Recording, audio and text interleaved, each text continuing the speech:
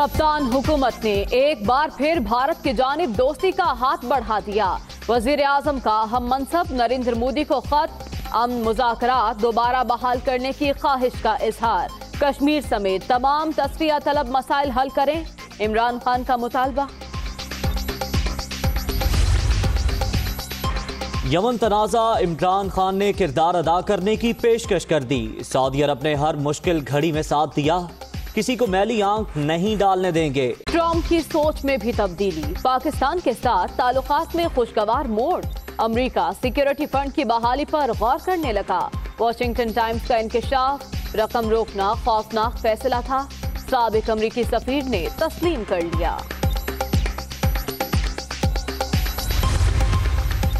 امریکہ پاکستانی قربانیوں کو بھی سراہنے لگا۔ اسلام آباد نے محفوظ پناہگاہوں کے خاتمے کے لیے آپریشن کیے۔ القاعدہ کمزور اور دہشت گردوں کی طاقت کم ہوئی۔ محکمہ خارجہ کا رپورٹ میں اعتراف۔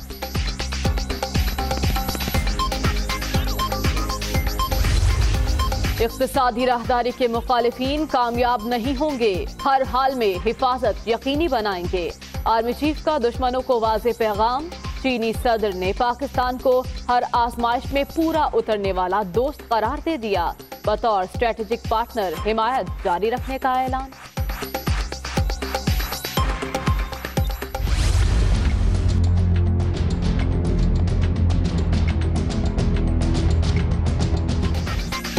بیک ٹو جاتی عمرہ۔ اسلام آباد ہائی کورٹ کے فیصلے سے اڈیالہ کا تالا کھل گیا۔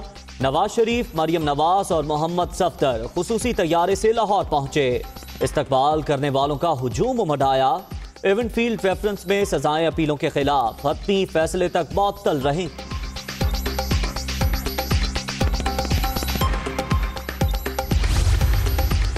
اپوزیشن جماعتوں نے نواز شریف کی سزا معطلی خوش آئند قرار دے دی۔ جمہوریت اور پارلیمنٹ مضبوط ہوگی۔ خورشید شاہ کا بیان۔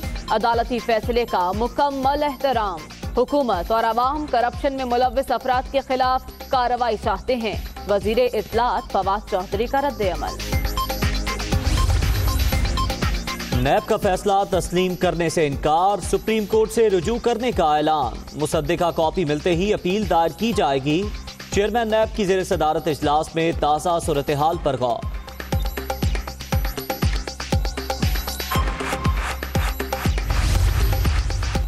شہدائے کربلا کی قربانیوں کو خراج عقیدت۔ ملک بھر میں نوی محرم الحرام کے جلوس، سخت سیکیورٹی انتظامات۔ واک تھرو گیٹ نصب۔ سنائپرز اور ہزاروں اہلکار تعینات کراچی سمیت کئی شہروں میں موبائل فون سروس بند۔ ڈبل سواری پر بھی پابندی۔ مقبوضہ کشمیر میں بھارتی مظالم محرم الحرام کے جلوس پر قابض فورسز نے دھاوا بول دیا۔ کئی ازادار گرفتار، متعدد علاقوں میں کرفیو نافذ۔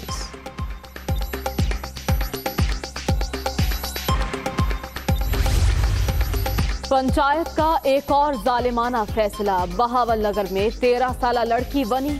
نکاح خان سمیت بیس افراد کے خلاف مقدمہ۔ پولیس نے پانچ ملزم گرفتار کر لیے۔ دیگر کو پکڑنے کے لیے چھاپے۔ نشان ہیڈ لائنز آپ نے جانی بلیٹن کا آغاز کریں گے اس چٹھی کے ذکر سے، جس کا دعویٰ بھارتی میڈیا کر رہا ہے۔ بھارتی میڈیا کا کہنا ہے کہ پاکستان کے وزیر اعظم عمران خان نے نریندر مودی کو خط لکھ کر امن مذاکرات دوبارہ شروع کرنے کا مطالبہ کیا ہے۔ اور اس سلسلے میں رواں ماہ کے آخر میں نیو یارک میں اقوام متحدہ کے اجلاس کے دوران پاک بھارت وزرائے خارجہ کی ملاقات پر بھی زور دیا گیا ہے۔ خط میں یہ کہا گیا ہے کہ آئیے مل کر خطے کے استحکام کے لیے کام کریں۔ جبکہ امن مذاکرات دوبارہ شروع کرنے کی دعوت دی گئی ہے۔ بھارتی میڈیا نے یہ دعویٰ کیا ہے کہ پاکستان کے وزیر اعظم عمران خان نے نریندر مودی کو خط لکھ کر امن مذاکرات دوبارہ شروع کرنے کا مطالبہ کیا ہے اور اس سلسلے میں رواں ماہ کے آخر میں نیو یارک میں اقوام متحدہ کے اجلاس کے دوران پاک بھارت وزرائے خارجہ کی ملاقات پر بھی زور دیا۔ ہے تو بھارتی میڈیا دعویٰ کر رہا ہے کہ پاکستان کے وزیر اعظم عمران خان اور نریندر مودی کے درمیان رابطہ ہوا ہے ایک چٹھی کے ذریعے۔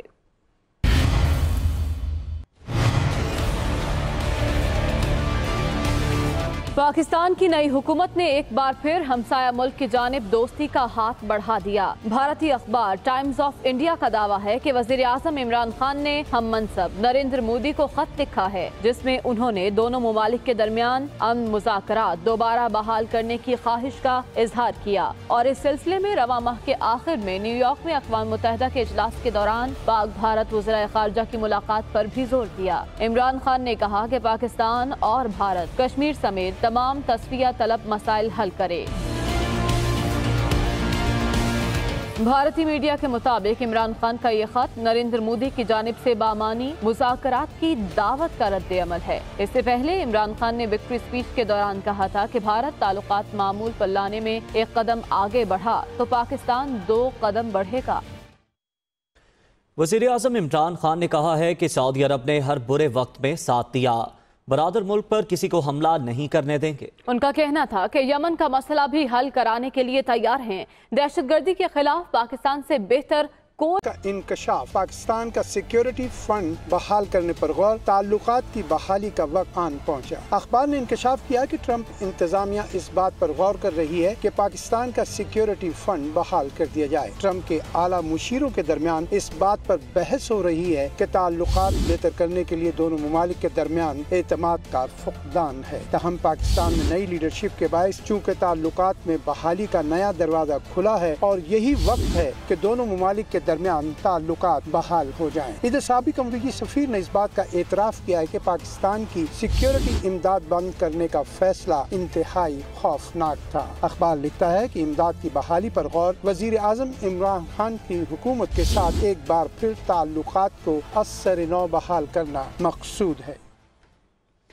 امریکی اسٹیٹ ڈپارٹمنٹ نے عالمی دہشت گردی سے متعلق رپورٹ میں پاکستان کی کامیابیوں کا اعتراف کر لیا۔ رپورٹ کے مطابق، پاکستان نے دہشت گردوں کی محفوظ پناہ گاہوں کے خاتمے کے لیے آپریشن کیے۔ پاک فوج کے آپریشن سے القاعدہ کمزور اور دہشت گردوں کی طاقت کم ہوئی۔ امریکی اسٹیٹ ڈپارٹمنٹ نے دو ہزار سترہ میں ہونے والی عالمی دہشت گردی پر رپورٹ جاری کر دی۔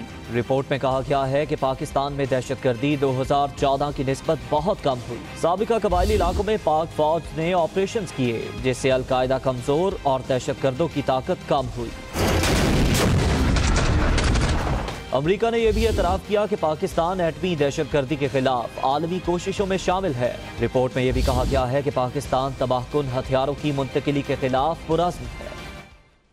اور اب ذکر سپاہ سالار کا۔ Army chief general Qamar Javed Bajwa نے چین کے صدر شی جنگ پنگ سے ملاقات کی۔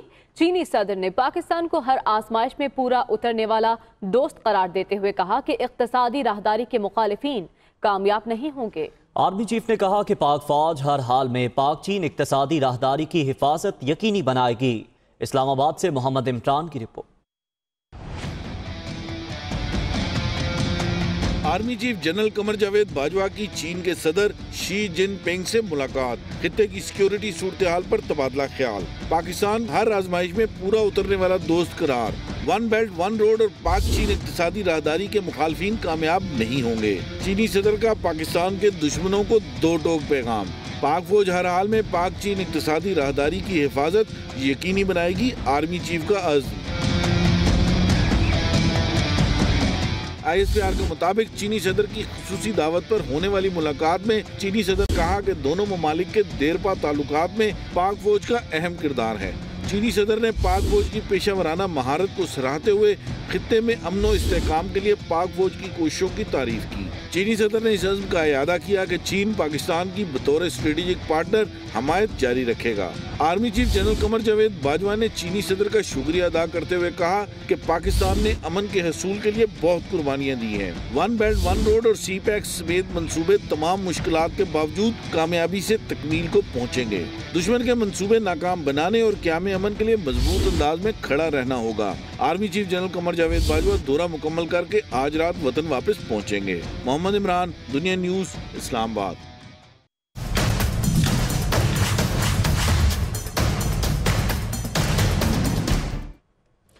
نواز شریف اڑسٹھ روز اڈیالہ جیل میں رہنے کے بعد گھر واپس پہنچ گئے۔ راول پنڈی اور لاہور میں کارکنوں نے شاندار استقبال کیا۔ مریم نواز، صفدر اور شہباز شریف بھی خصوصی تیاری کے ذریعے لاہور پہنچے۔ آپ کو بتائیں کہ اسلام آباد ہائی کورٹ نے ایون فیلڈ ریفرنس میں نواز شریف، مریم نواز اور کیپٹن ریٹائرڈ صفدر کی سزائیں معطل کرتے ہوئے رہائی کا حکم سنایا تھا۔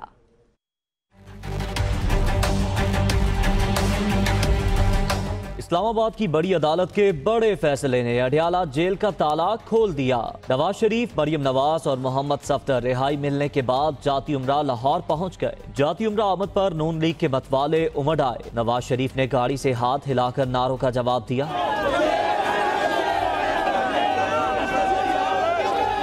رہائش گاہ پہنچنے پر نواز شریف کی والدہ نے ڈھیروں دعاؤں کے ساتھ استقبال کیا۔ نواز شریف کے لیے پسندیدہ پکوان تیار کرائے اور خوب خاطر توازو کی۔ اس سے پہلے نواز شریف راول پنڈی میں سپریڈنڈن اڈیالہ جیل کے کمرے میں روبکار کے منتظر رہے۔ اسلام آباد ہائی کورٹ نے ایون فیلڈ ریفرنس میں سزا معطلی کی درخواستوں پر فیصلہ سناتے ہوئے نواز شریف، مریم نواز اور محمد صفدر کی سزائیں معطل کر دی تھی عدالت نے رہائی کے لیے تینوں ملزموں کو پانچ پانچ لاکھ روپے کے ضمانتی مچل کے جمع کرانے کی ہدایت بھی کی۔ عدالت نے مختصر فیصلے میں قرار دیا۔ اپیلوں پر حتمی فیصلے تک احتساب عدالت کا حکم معطل رہے گا۔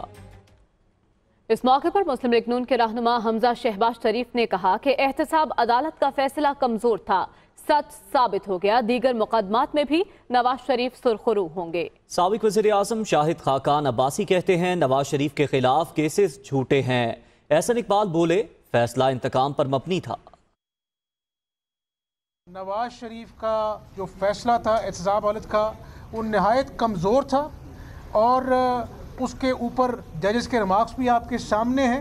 اسی طرح ان شاء اللہ تعالیٰ باقی کیسز کے اوپر بھی ہم قانونی جنگ جاری رکھیں گے اور ان شاء اللہ نواز شریف سرخرو ہوں گے۔ میاں صاحب نے جو روایت قائم کی ہے، جو مثال قائم کی ہے سیاست میں اس سے پاکستان میں پہلے کوئی بھی شخص ملک کے باہر تھا، ملک میں واپس آئے، جیل گئے جیل کاٹی، بڑی ہمت سے کاٹی اور ان چیزوں کا مقابلہ کیا۔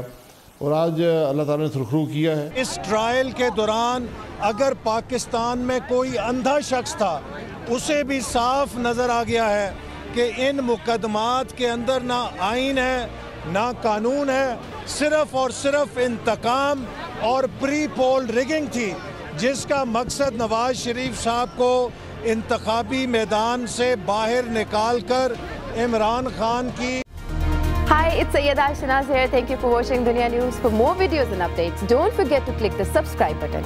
Keep watching Dunia News.